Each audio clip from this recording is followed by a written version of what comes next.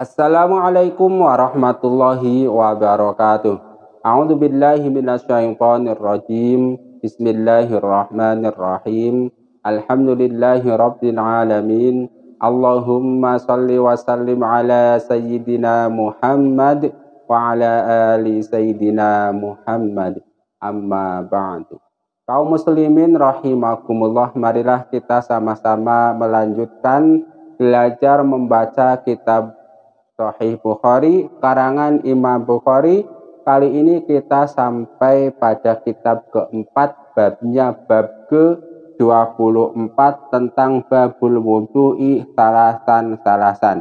Berwudhu tiga kali, tiga kali. Kaum muslimin rahimakumullah maksudnya begini ketika kita melaksanakan wudhu, kita itu boleh membasuh anggota wudhu tiga kali, tiga kali.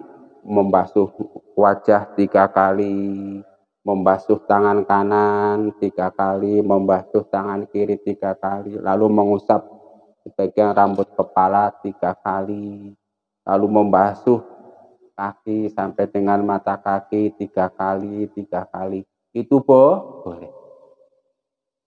Dengan kata lain, sebenarnya kita itu boleh membasuh anggota wudhu sekali-sekali, dua kali dua kali, tiga kali tiga kali. Tetapi pada bab ini, Imam Bukhari itu mau menekankan bolehnya membasuh anggota wudhu tiga kali tiga kali.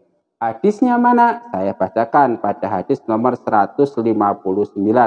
Hadasana Abdullah Hadasana Abdul Aziz bin Abdullah Al-Uwaisiyu Qala haddatsani Ibrahim bin Sa'id an Ibni Syihab anna Atha bin Yazid akhbarahu anna Umran Maula Utsman akhbarahu annahu ra'a Utsman bin Affan da'a bi ina'in fa aqraha ala kafaihi salasa mirarin fa ghasalahuma thumma adkhala yaminahu fil ina'i fa madmadha wastan syaqa Tuma ghasala wajhahu salasan. Nah ini membasuh muka tiga kali.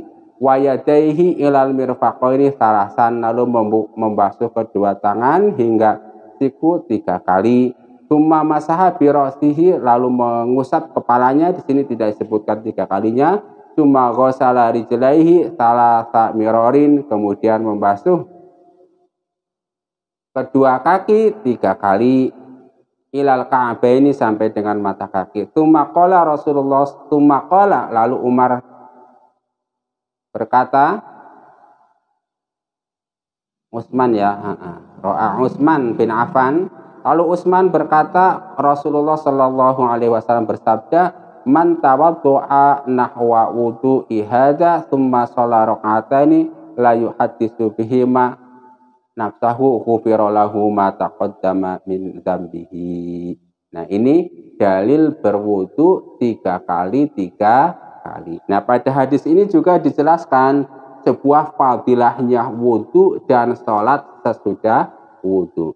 Jadi di sini dijelaskan barang siapa yang berwudu seperti wudu saya ini, kata Rasulullah, wudu yang bagaimana? Nah ini secara lahiriah itu wudu yang pertama, ini mencuci telapak tangan tiga kali dulu, lalu berkumur-kumur, mengisap air ke hidung. Nah setelah itu wudhu, membasuh muka tiga kali, membasuh tangan tiga kali tiga kali, lalu mengusap kepala. Di sini nggak sebutkan tiga kali sekali, nah, tapi nanti pada hadis yang lain disunahkan ada yang disebutkan tiga kali. Nah setelah mengusap sebagian rambut kepala, lalu kedua kaki dua kali dua kali. Nah, setelah wudhu seperti itu menyempurnakan wudhu, lalu tidak melaksanakan perbuatan yang mengganggu kekhusyuan, lalu melaksanakan sholat sunat dua rakaat yang biasa dalam ilmu fikih disebut sholat sunat wudhu.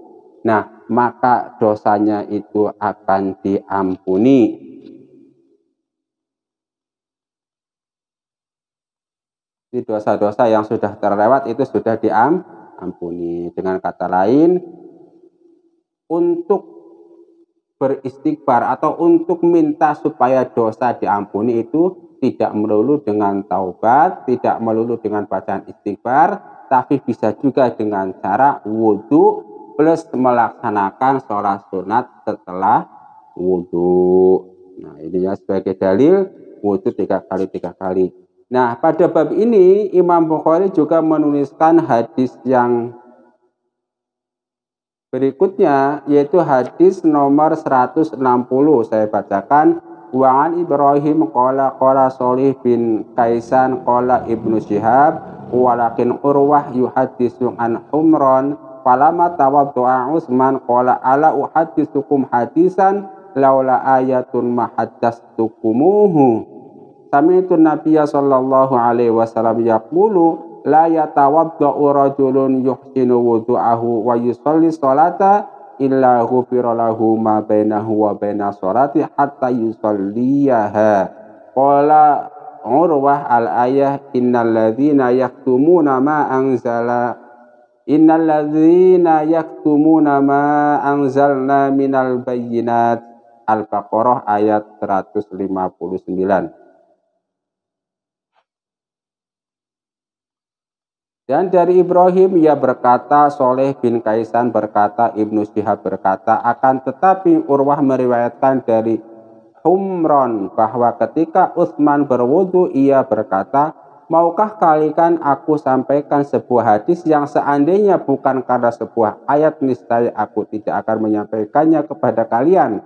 Aku mendengar Nabi bersabda, tidaklah seseorang berwudu dan menyempurnakan wudhunya lalu sholat melainkan akan diampuni dosa yang ada di antara wudhu dan sholatnya hingga ia mengerjakan sholat tersebut.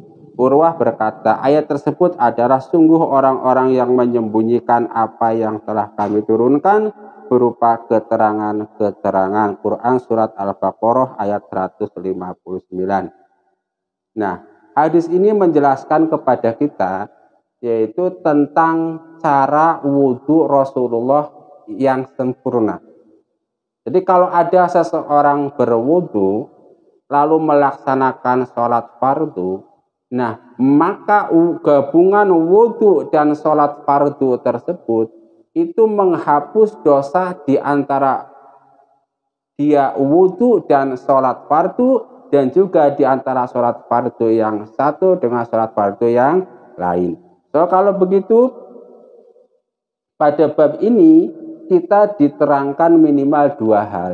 Yang pertama bahwa berwudu dengan cara membasuh anggota wudhu tiga kali tiga kali itu boleh. Lalu yang kedua bahwa perbuatan menyempurnakan wudhu sesuai yang diajarkan Rasulullah Sallallahu Alaihi Wasallam lalu diikuti dengan sholat sunat wudhu maka hal tersebut bisa menghapus dosa-dosa kita yang sudah terlewat. Kemudian para ulama berbeda pendapat bahwa yang dimaksud dosa yang diampuni karena perbuatan wudhu plus sholat sunat wudhu adalah dosa-dosa kecil. Lalu yang ketiga, ada wudhu yang digabung dengan sholat fardu. Kemudian perbuatan tersebut bisa menjadi sebab diampuninya dosa yang terjadi antara sholat fardu dan sholat fardu. Misalnya sekarang kita berwudu untuk melaksanakan sholat maghrib. Nanti ketika isya kemudian kita berwudu lagi melaksanakan sholat isya. Nah maka perbuatan wudu dan sholat fardu tersebut menghapus dosa yang terjadi di antara sholat maghrib dan sholat isya. Begitupun sholat isya dengan sholat subuh, sholat subuh dan seterusnya.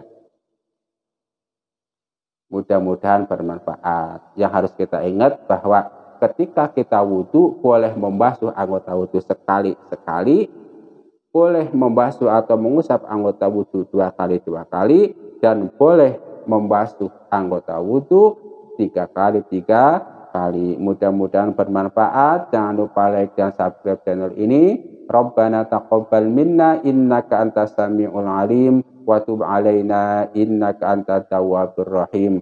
Subhanakallahumma wa bihamdika asyhadu an la ilaha illa anta astaghfiruka wa atubu ilaik. Wal afa minkum wassalamu alaikum warahmatullahi wabarakatuh.